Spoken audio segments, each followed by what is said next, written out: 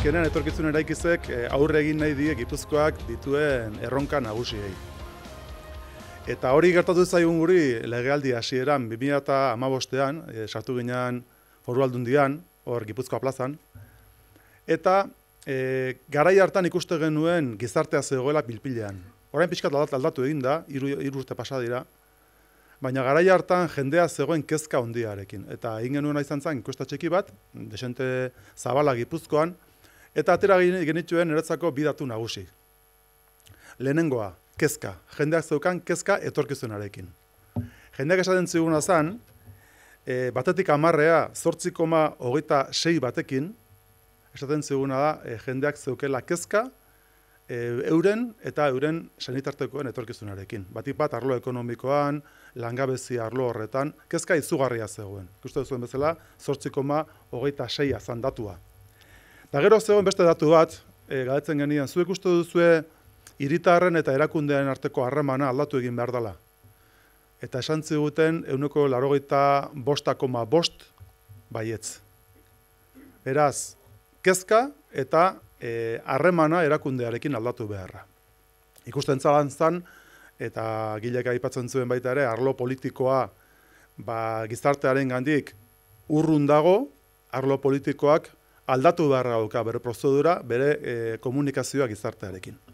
Eta horrekin hasizan etorkizunarekin, uste genuelako, ba, plan zabalak, plan orokorrak, e, izugarrizko ambizioa dutenak, ondo daudela, totxoa behasen zuen ez gilek, ez totxoa handiak egitea, plana oso fuerteak egitea ondo dagoela, baina askoz behar dela gauzak egiten hastea.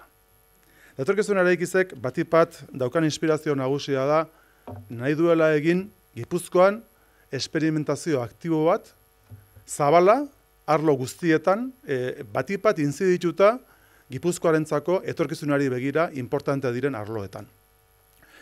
Y esa es la cuestión. E, el hecho es que etorkizunarekiz pretende, como decía Guille, extender una eh, experimentación activa en todas aquellas cuestiones que consideramos, a priori, en principio, que son de nervio, que son eh, fundamentales para el futuro del territorio.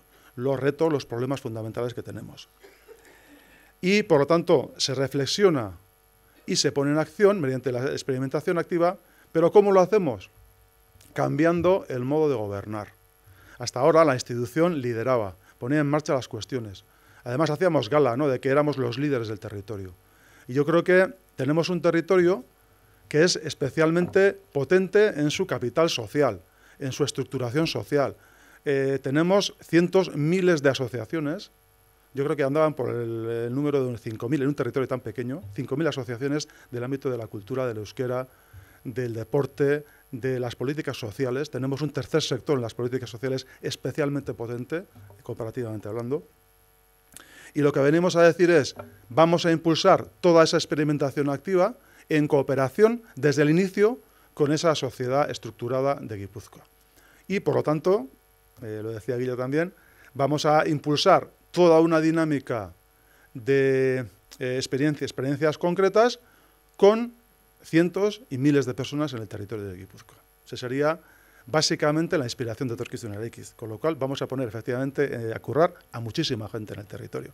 No es que vayamos a poner, sino que constituimos todo un, eh, una, digamos, una ola, una iniciativa potente de transformación del territorio desde la acción concreta en aquellas, aquellas cuestiones que consideramos son, que son de nervio.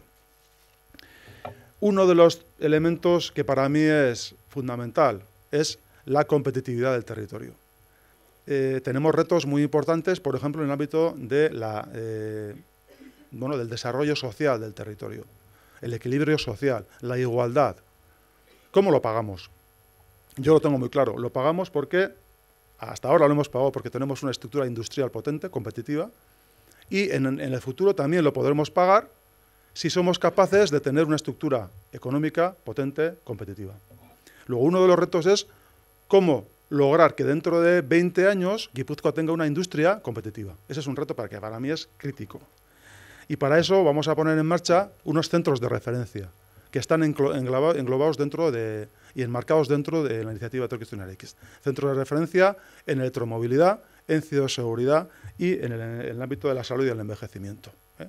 También hay otras iniciativas que tienen que ver con la creación audiovisual o la gastronomía, tan eh, importante también en el territorio, y en cada una de ellas pretendemos poner centros de referencia en, en, cuyo espacio colaborarán la administración pública y la iniciativa social, y también las empresas, la industria. Queremos que el conjunto del territorio en cada una de esas cuestiones, de, esos ámbitos, de esos espacios, y desde una perspectiva de excelencia coopere para desarrollar proyectos que redunden en la competitividad futura de las empresas del territorio.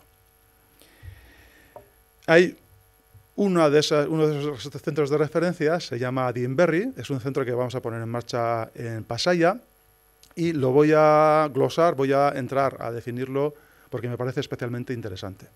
Adinberry va a ser una residencia para las personas mayores que ya va a tener un enfoque innovador, pero junto a Adinberry, en el mismo espacio, en el mismo edificio, va a haber un centro de I+.D. Con lo cual, estamos hablando de mejorar la calidad asistencial de las personas mayores en Guipúzcoa de un modo innovador, pero también estamos hablando de desarrollar la economía del futuro mediante eh, productos, servicios que se podrán testar en el mismo centro. Eh, por lo tanto, estamos también incorporando a la industria, a los centros tecnológicos, a las universidades en todo este proyecto. Adinberry se pondrá en marcha en la zona de Trincherpe, en Pasaya, eh, y esperemos que ya se, empiece a, mover las tierras a finales de la legislatura hacia el año 2019. Hay más proyectos, ¿eh? pero para mí era importante subrayar el hecho de que cada una de las cuestiones que nos parece de nervio, ¿eh? otra de las cuestiones, por ejemplo, es el futuro de euskera. Zein da gure hizkuntzaren etorkizuna? Orain une honetan, hemen gazte asko ikuste ditut, zue guztiok, gazteok, gipuzkoan egiten dituzuen konsumoetan, ikusentzunezkoetan, interneten, gehienak online, euneko irurogeita amarra egiten duzue gazteleraz. Hori ere inkesta bat egin dugu euneko irurogeita amarra gazteleraz, euneko hogeia euskaraz, euneko amarra e, ingelesez. Hori euskararen etorkizunean ikuspeditik ez aldak ezkagarria, izugarrik ezkagarria da.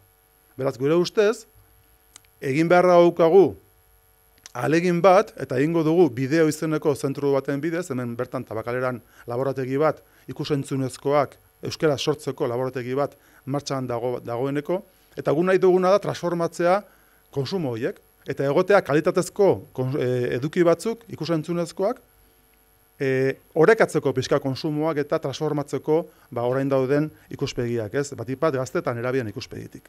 Ba, hor ere, e, gauzak egiteko asmotan gaitza eta egiten ari gera.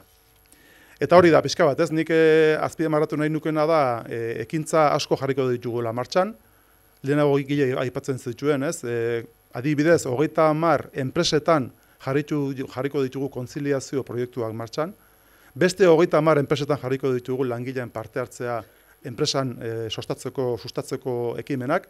Beraz, egongo dira, izugarrizko, e, bueno, ba, diversidadea duten e, proiektu eta esperientzi piloto asko, eta egongo dira referentzizko zentruak.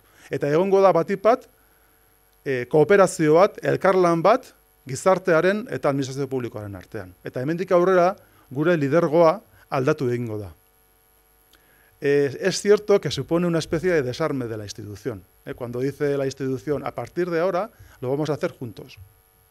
Pero pienso, volviendo al inicio y finalizando, que es la única forma de acercarnos a la ciudadanía y de que la ciudadanía observe con más confianza y cercanía a la institución y que el ámbito político realmente conecte, vuelva a conectar con la sociedad. Si no lo hacemos así, si no lo hacemos mediante el trabajo diario, mediante la relación diaria, mediante el cambio de liderazgo, mediante la horizontalización del liderazgo, si no lo hacemos así, continuaremos con esta desconfianza que para mí por lo menos es letal. Ba, besterik gabe, eguna ondo joan dadila, eskerrik asko guztiak.